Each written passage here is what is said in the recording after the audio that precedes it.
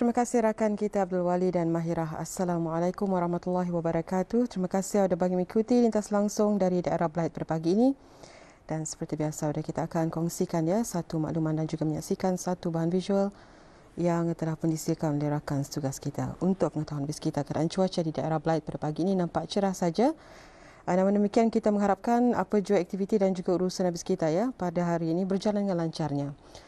Baiklah, saya bacakan dulu satu info semasa yang mana pada 29 hari bulan Januari 2022 hari Sabtu jam 8.30 minit pagi akan diadakan uh, satu majlis pembukaan rasmi bagi Green Protocol for Day of Action yang dianjurkan oleh IBTE Campus Sultan Bolkiah Suria yang mana aktiviti pada hari tersebut iaitu menanam pokok pada waktu dan juga tempat yang telah pun kita maklumkan sebentar tadi di kawasan depan bangunan bisnes IBTE Campus Sultan Bolkiah ya. InsyaAllah tetamu kehormatan hadir iaitu Yang Mulia Dr. Haji Muhammad Zamri bin Haji Sabli iaitu CEO bagi IBTE dan juga tetamu jemputan adalah Yang Berhormat Dayang Khairunisa binti Awang Haji Ashari iaitu Ahli Majlis Mesyuarat Negara. Bella itu dia satu info semasa dan sekarang kita beralih bagi menyaksikan bahan visual yang telah pun disediakan untuk pagi ini.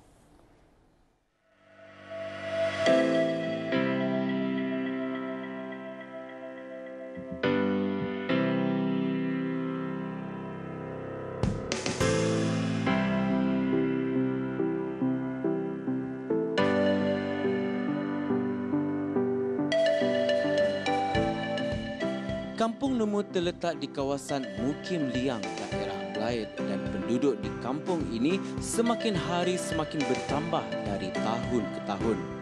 Dalam menyesuaikan keperluan penduduk setempat itu, kerajaan telah menyediakan pelbagai kemudahan dan prasarana demi kesejahteraan anak-anak kampung menariknya tentang kampung lumut ini, penduduknya sering aktif untuk mengadakan pelbagai jenis-jenis aktiviti bagi penduduk yang tinggal di kampung ini maupun pengunjung dari daerah-daerah yang lain. Dan salah satu inisiatif dari penduduk kampung ini, mereka telah membukakan satu tempat persinggahan berdekatan dengan penurunan kapal iaitu Gerai Aneka Jeti Lumut.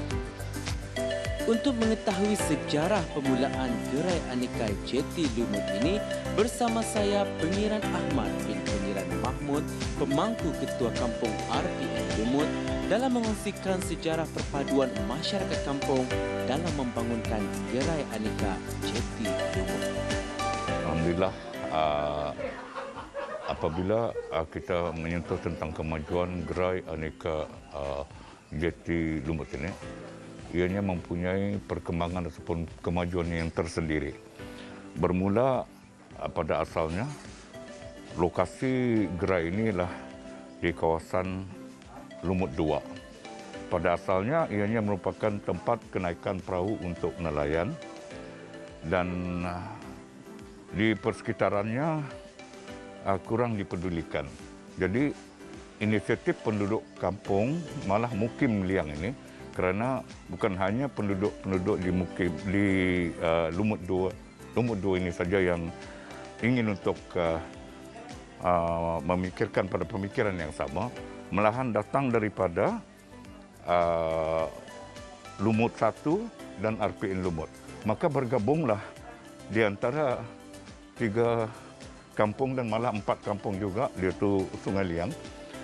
Kami bergabung atas nama Mukim Liang uh, di kalangan ahli-ahli telah berjaya mengumpulkan sedikit dana untuk membina gerai sementara ini. Beginilah bentuk yang dapat kita saksikan dan di dalamnya telah kita dapat menyaksikan macam mana perkembangan ekonomi dapat diwujudkan di kalangan penduduk-penduduk kampung yang telah bersedia untuk uh, melaksanakan kegiatan-kegiatan uh, perniagaan. Uh, kawasan gerai uh, aneka gerai Jeti Lumut ini ahli-ahli di dalamnya melihat ada beberapa aspek yang dapat dimajukan. Tadi kita menyentuh tentang perpaduan, mengejutkan perpaduan yang di antara penduduk-penduduk di Mukim Liang ini Dan kedua, ialah mewujudkan perekonomian dan terlangsung akan disebarluaskan dalam aspek uh, industri pelancongan dan sebagainya. Dalam pendekatan kali ini, kami juga sempat menemu bual dengan beberapa orang peniaga yang menjalankan perniagaan di gerai aneka Jeti Lumut. Okey, uh, nama sebenarnya Apizan lebih dikenali sebagai pijan uh, di kalangan pemancing-pemancing dan uh, warga lumut sinilah. Okey, memeli- kalau memelihatkan environment environment yang ini kebanyakannya uh, kebanyakannya uh, daripada perikanan dan uh, apa tempat memancing, uh, tempat memancing, turun perahu semua. Jadi hasil-hasil itu daripada barang-barang sumber laut. So, ini tu yang akan kubuat. Yang dibuat yang kubuatnya Okey, ini sebenarnya KPKL. KPKL sudah nampak yang KL itu memang berunsurkan kepada makanan-makanan laut.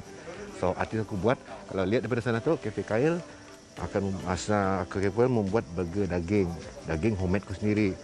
And then ayam pun, ayam memakai one piece whole breast ayam sendiri. And then satu lagi uh, yang terbaru, burger udang. Burger udang, burger kupang, burger katam semua tu ada aku buat. Alhamdulillah kalau dari semutan itu start daripada endemic ni aku pun sejak aku bermula aku pun dah sangka juga barang ni boleh bom macam tu saja laris macam saja. Uh, saya Idris Haji Abdul Hamid uh, sebagai peniaga di pondok ini. Uh, kami menjual ano, cucur segala cucur udang, cucur ubi manis, ubi manis. pisang dan lain-lain lah. Uh, minuman juga ada lah minuman. Minuman pun ada, juga. Kalau hari anu biasa kami jual daripada pagi lah. Dari pagi pukul ya? 7 pukul 8 semua tu. Sampai pukul malam. Sampai, sampai malam. malam. Jadi malam selalunya tutup pukul berapa kita? Kami tutup dalam 8 sudah pukul 8 sudah tutup. Ah, pukul 10 tu dah dapat lagi kan. Ah, uh, sebutan pelanggan kadang-kadang ada. Kadang-kadang tidak ada jawab. Masalahnya COVID ini kan. Ah, betul. Kalau dulu ramai di sini. Dulu ramai Ramai. Ya? Kalau sebelum COVID lah. Peniaga-peniaga seperti mereka ini sudah menjadi kebanggaan bagi masyarakat kita ni. Bukan saja menguntungkan pendapatan mereka, malah secara tidak langsung dapat membantu menaikkan ekonomi negara. Sekarang, gerai aneka Jeti Lumut telah pun menjadi tumpuan orang ramai bagi mereka yang ingin melakukan aktiviti memancing di tebing sungai mahupun riadah bersama dengan ahli keluarga.